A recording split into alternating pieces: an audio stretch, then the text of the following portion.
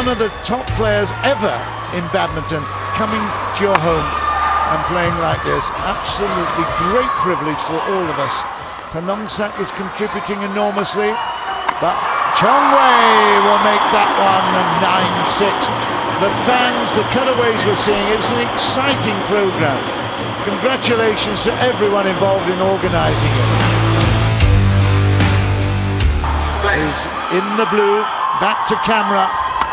Chong Wei will be out to really storm into this one, I can tell you, but the net is won by Tanongsak Saensomboonsuk and the first point, first blood, a little under pressure there after the serve.